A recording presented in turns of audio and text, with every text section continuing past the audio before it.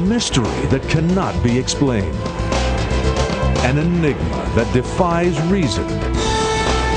A surprising and unexpected answer. To encounter such a mystery firsthand may change your life forever. Face to face with the greatest riddles of the ages, the world's most profound mysteries reach out and touch your life in ways you never imagined possible.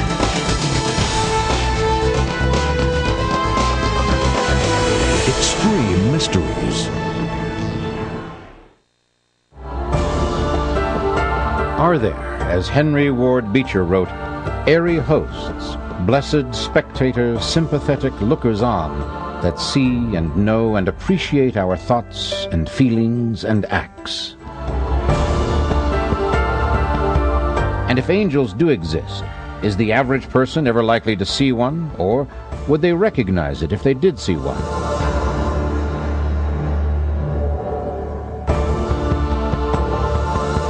Literally hundreds, perhaps thousands of stories have been reported in the popular media suggesting that there are real-life encounters with angels.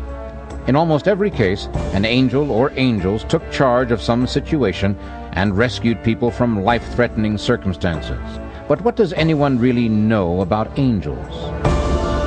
The Bible, and just about all the religious literature, is replete with stories of angels. But do they really exist?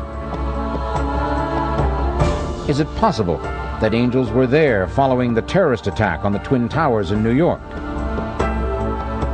According to the Bible, angels visited with Abraham, Lot, Jacob, and many others. But do angels bother with ordinary people today? Angels attended the birth of Jesus and warned Joseph that there would be attempts on Jesus' life. Is there a guardian angel waiting to save you? We'll examine that intriguing possibility when we come back. Few things in this world have captured the imagination of so many as stories of the intervention of angels, spiritual beings that take many forms and intercede on behalf of mankind. But is there any proof these stories are not just the product of someone's fertile imagination and a certain amount of good old-fashioned luck? Can we find evidence that there are spiritual beings that come into the lives of ordinary people in extraordinary circumstances? Of the many stories of heroes and heroism coming out of the September 11th attack on America, one in particular illustrates the point. A woman, blinded by the darkness and choking dust, tells of suddenly feeling the secure hand of someone guiding her down the clogged stairwell and ultimately to safety. When she turned to thank the person who had helped her, there was no one there. Someone, it seems, had guided her to safety. But who? These kinds of stories are almost commonplace, and people are quick to attribute them to angels. But what evidence is there that these heavenly helpers actually exist? Do we know what kind of beings angels are? Have two people ever shared the same angelic experience? Basically, there are only two sources of information regarding angels, the biblical or religious literature, and the anecdotal evidence, personal stories or first-person accounts.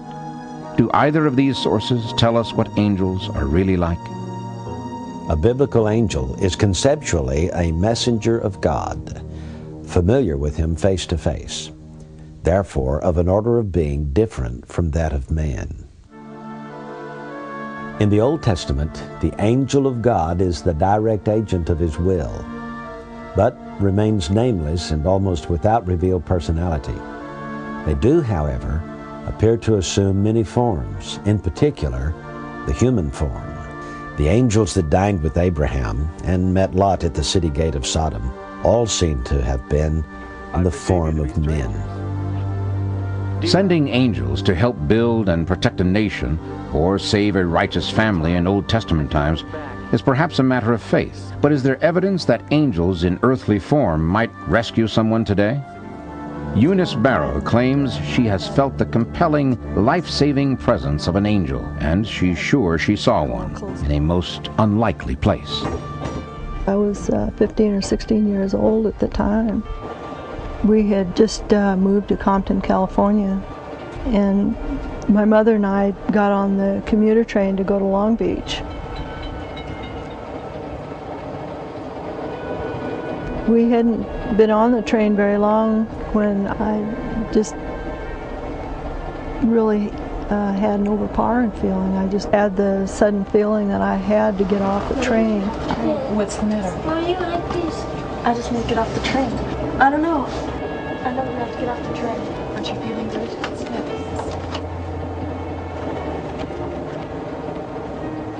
There seemed to be nothing Eunice's mother could say that would persuade her daughter to stay on the train, even though they were far from a scheduled stop.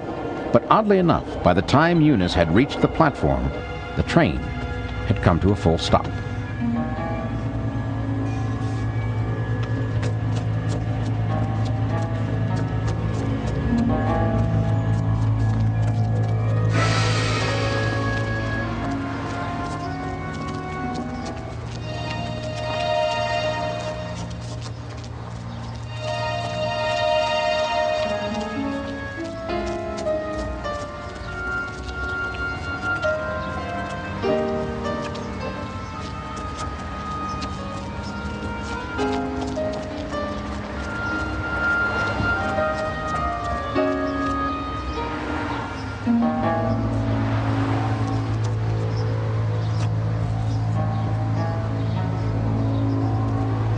Desperately, she looked about and finally spotted an old service station that looked like it might be open for business. Immediately, she made her way toward it.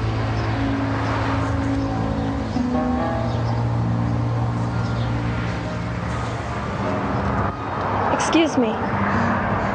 Well now, you'd be looking for a hospital. Keep going down this street, about two blocks. It's on the right, you can't miss it. You better hurry now. A hospital? Eunice, what is it?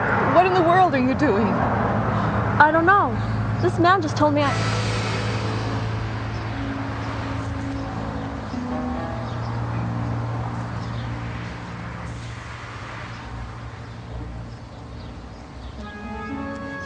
There wasn't time to wonder over this strange turn of events.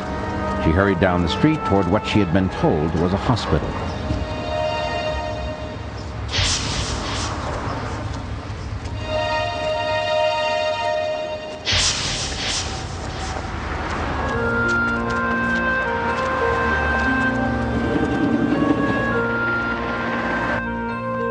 Course, as soon as I came in to the admittance desk, they admitted me because it was, I probably looked as sick as I felt. Doctor, doctor, Somebody help me! take it to yard. It wasn't very uh, much later that I was in surgery and had the appendix removed. My uh, doctor afterward told me that I was very fortunate that I came in when I did, that I'd gotten there just in time, that the appendix was red hot and just about to rupture. If I hadn't listened to my inner voice, I probably would have uh, had to undergo a lot of suffering and possibly death. I do feel that uh, something made me get off the train. Was it her guardian angel that convinced Eunice Barrow to get off the train? Or could it have been some unrecognized physical response sending an urgent message to the brain? But if it's the latter, where did the service station attendant come from who directed her to the hospital? More importantly, where did he go?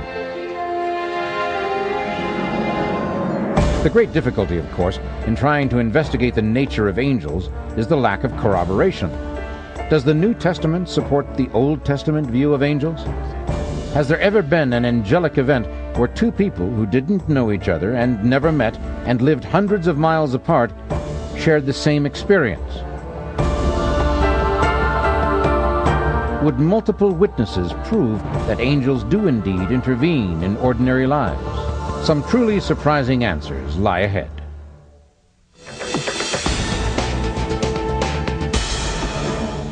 For those who have had the experience, the notion that angels are constantly among us is no longer a matter of dispute.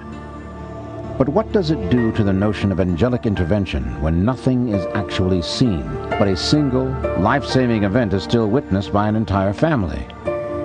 All of us, at one time or another, have experienced the intrusion of a still small voice into our thoughts.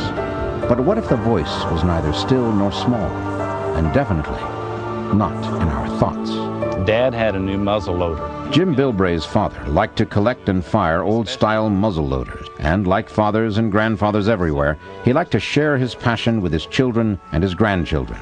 So he had this new one, and he, he wanted to show it to us. Well, he showed the boys how you put the gunpowder in, you measure it, stick it in, you put the patch and the ball in there, shove it on down. Then he would set this uh, primer cap uh, at the trigger mechanism where he'd drill a little hole in there or make the hole bigger and clean. And then he'd take it outside and fire it. So he had this new one, and he, he wanted to show it to us. My little daughter Carissa, she's about five at the time. Uh, Jeremy was probably nine, and Jason was 12. About 70 feet up the hill, he'd had set up a target. The target was made from an old box that had held a, a toy, and he'd flattened it out and put it up there. And Dad says, I need a bullseye for the target. I got something. Hold on. Look at that right there. I said, well, I got a business card, and I fished out a business card out of my pocket, Put that on the target. Shoot it. That worked. went on up the hill and stuck it on the, on the target, which was setting against a small tree stump, a rotten tree stump. This was not the first time Jim's family had seen this demonstration, but each time his dad fired his muzzleloader, Jim was impressed with his shooting skill. So he aims, and the boys just, you know, they're holding their ears. He pulls the trigger, and the ball went boom. Check that out. Come on. shot through the air, hit the target, blew through it, blew apart part of the stump behind it, and ran through several saplings. It was an amazing amount of power for something so primitive. I couldn't believe it. And Dad said, Well, I got one more ball to shoot. Who wants to try it now? Dad was good that way. He would let us uh, learn by doing. He showed him how to clean out the, the rifle, how to Okay, let's load that baby up uh, measure out the gunpowder so you had just the right amount, pour it in neatly, and uh, put a patch and